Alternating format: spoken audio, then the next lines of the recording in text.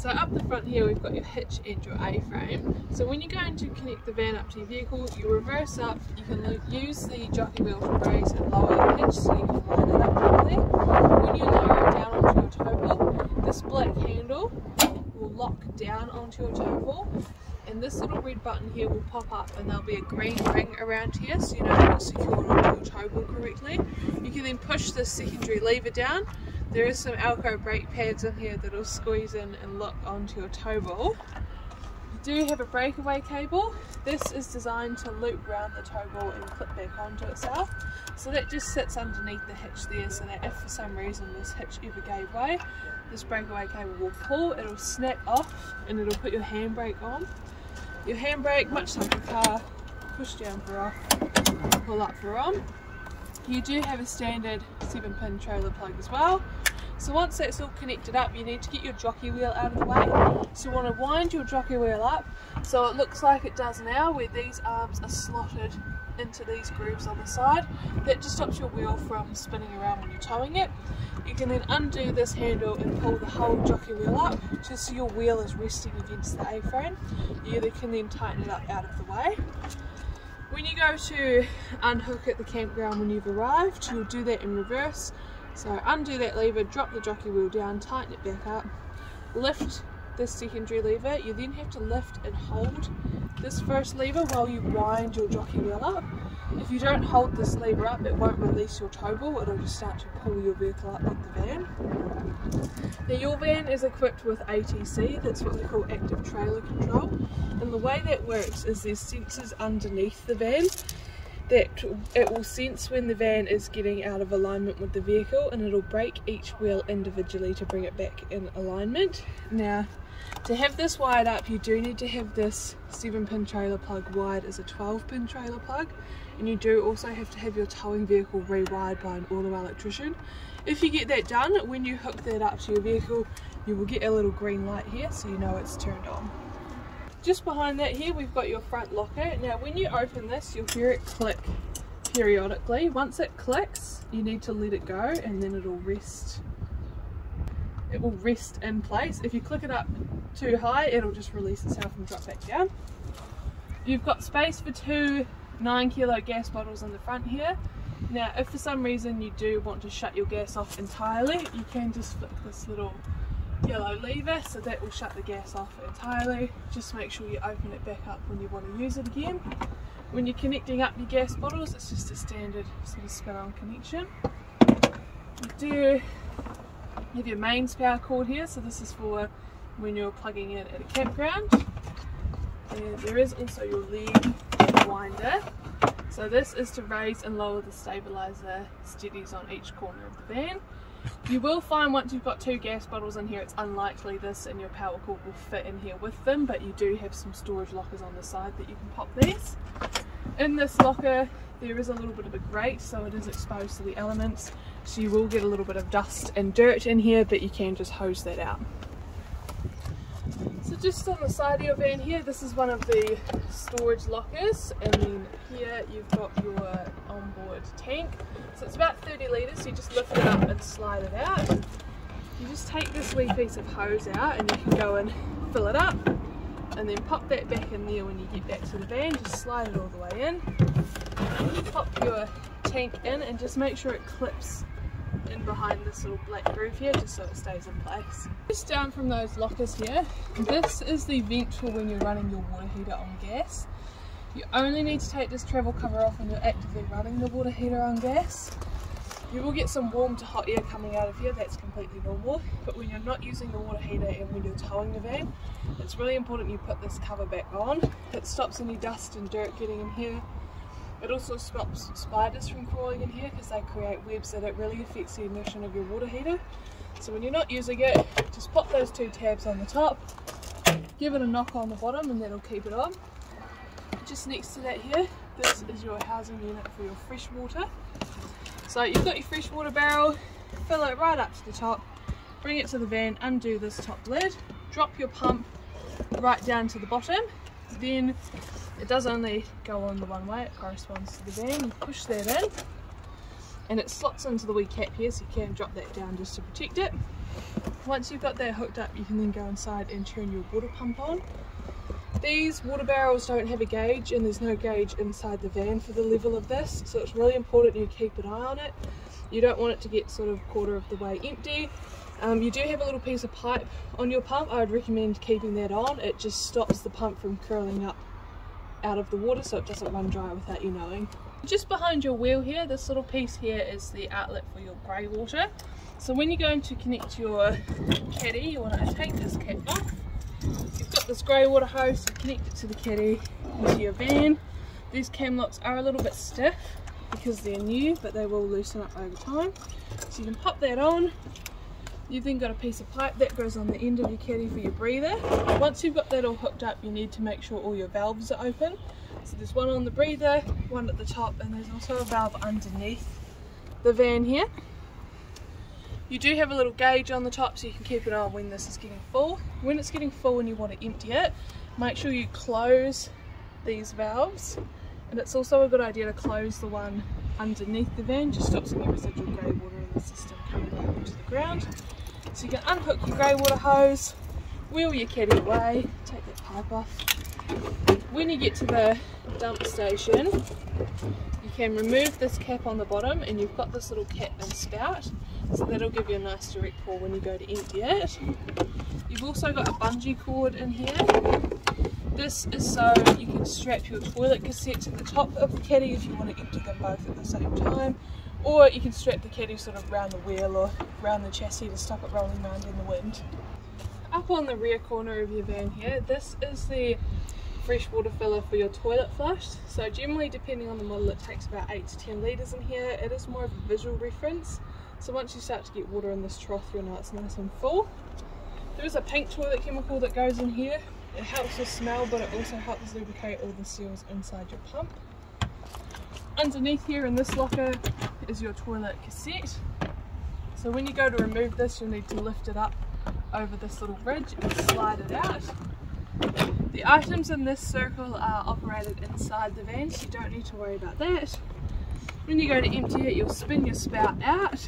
If you're having a bit of trouble getting this cap off you do have an air release valve at the bottom here so you can press that a few times and then that cap should come off. You can then empty out your toilet cassette there are some measurements on this cap here. This is designed so that you can measure out the blue toilet chemical.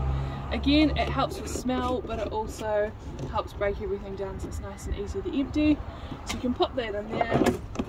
Your toilet caddy does have wheels on it, so you can lift this grey handle up over these grey tabs, and that way you can wheel it away. When you come back to the van, make sure your orange handle clips back in behind the grey tabs there. You can then slide it into the van and just make sure it locks in. The only other thing inside this locker is just up on a little shelf here above the toilet cassette is this little bung. This is designed that you pull this bung and it drains all the water out of your toilet flush. It's really important to do this when you're storing the van, especially over winter. It prevents any frost damage and it also stops your pump from seizing from being in water for a long time. So round on the door side of your van here, just next to your wheel, this locker has your battery in it.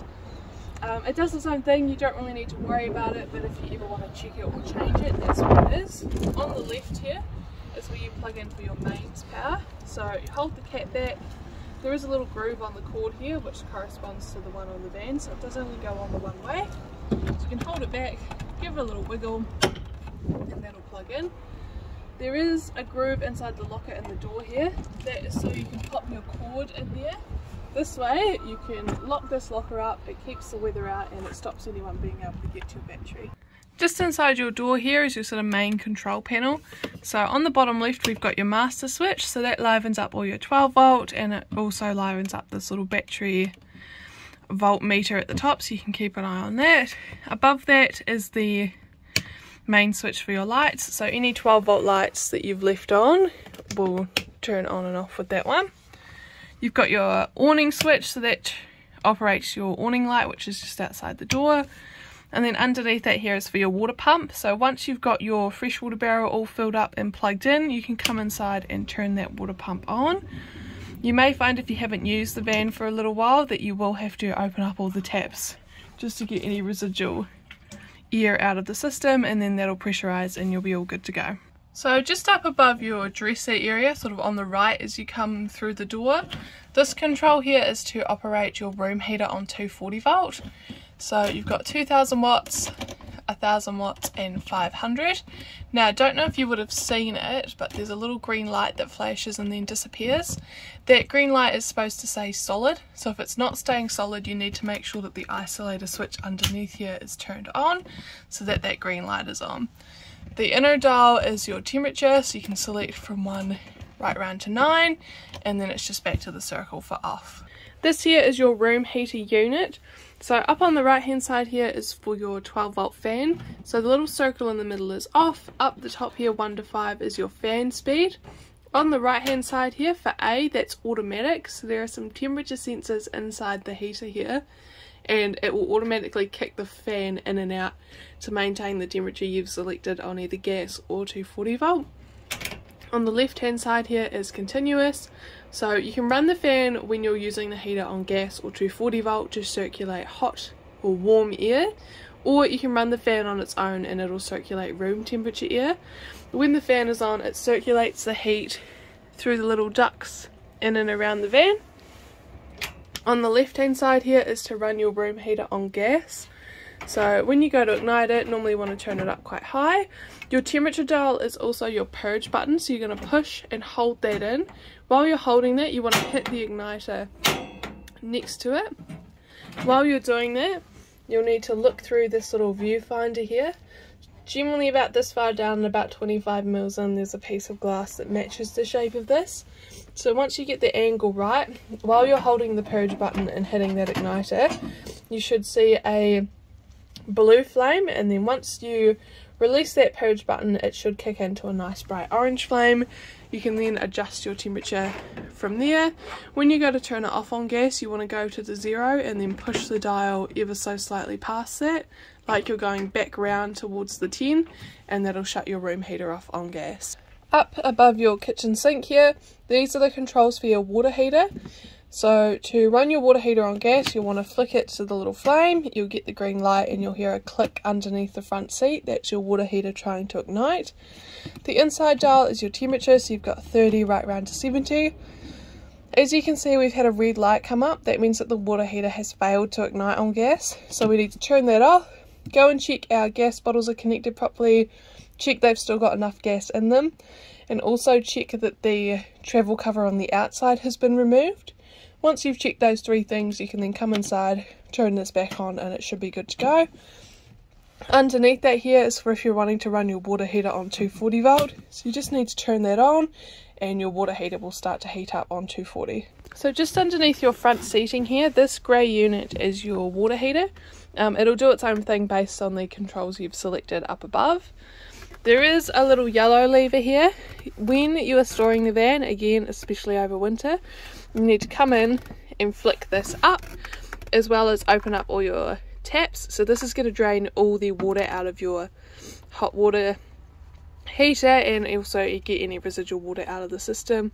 So it's going to help prevent frost damage in the van. When you go to use the van again make sure you flick it down. It doesn't matter which way you flick it down. Just so that when you go to use your fresh water again it's not going to drain it straight out the bottom of the van on the right hand side here, this little lever operates where you want to use your fresh water from. So in the position it is now, it means that when you turn your pump on, you're going to be getting water from the water barrel outside the van.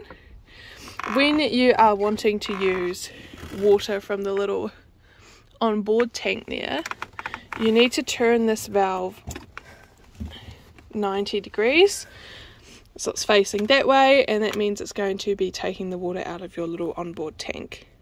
This here is the controls for your fridge.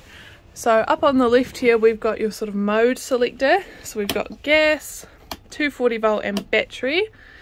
Now as long as you've got your 240 volt plugged in the fridge will start to cool down.